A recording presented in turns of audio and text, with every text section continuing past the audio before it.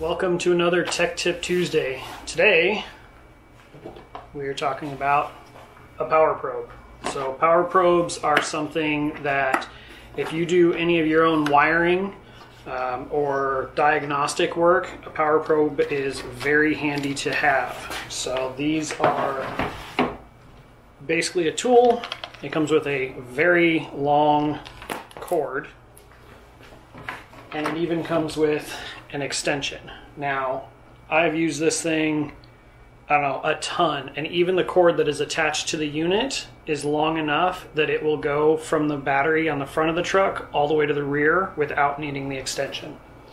It comes with two different styles to attach it. So, style number one is the regular clamp style, and style number two is the 12 volt lighter plug style. So this is kind of cool to have. That means that you can use it with a power bank or something of that nature if you know you're working across the yard. So keep that in mind.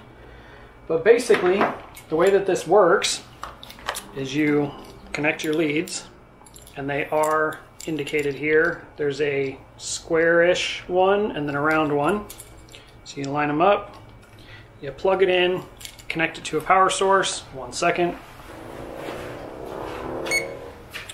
Once you connect it to a power source, it comes on, you've got some little lights, and then here in the back of it is the probe. So the probe comes out, and then it has a way that you can plug it in.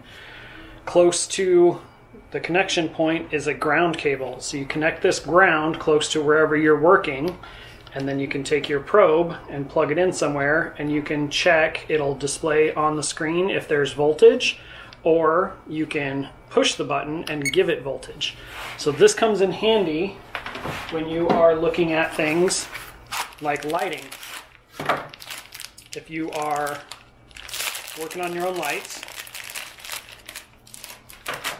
so I got some new lighting. It's a third brake light I'm going to put on the back of the rack here. So um, this that video, the install video for this should go live on Sunday. So tune back in and check that out. But basically, you take the ends of your wires here. I have a red, a white, and a black. So we're going to connect the little alligator clip at the base to the black. And actually, I'm going to flip you around put you on the tailgate so this is easier to see. Now we can see we have our light set up up here. We are connected to the black for our ground so now I can touch the probe to the white wire and give it power, and I can see that it flashes a couple of times. I don't know if you guys could see that.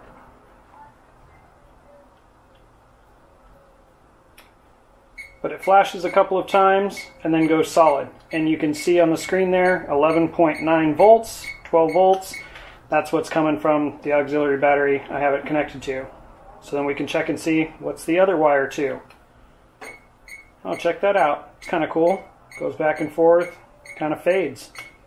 So that gives me two different choices on what I want to do with this light as far as when I hit the brakes, how's it going to go. I don't think that the tracking back and forth is legal. I know that my third brake light on the truck right now has that style where it kind of flashes. That'll get people's attention a lot better. So now I know I can connect up my ground, connect up my white wire, and I'm done. I don't even have to use that red wire. I can cap it off, tape it off where nothing gets onto it, and good to go. There you go.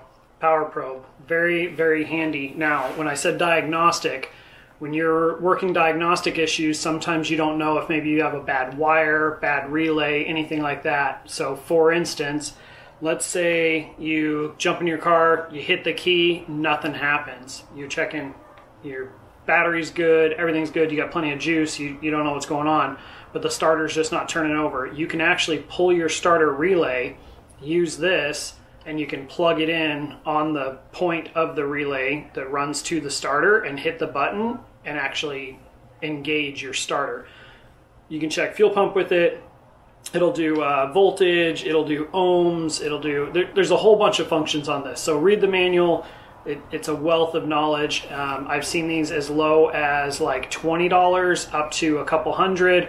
I think I caught this one on sale for like 60 and like I said, I use it all the time. Uh, when I did my overhead roof lights, I was able to take all those in the house and sit there in the nice air conditioning and wire them all up and check each connection after I did it and make sure everything kicked on the way that it was supposed to in the AC, nice and easy. So, hope this helps some people out and uh, check out the install of that third brake light. Maybe it'll give you guys some ideas.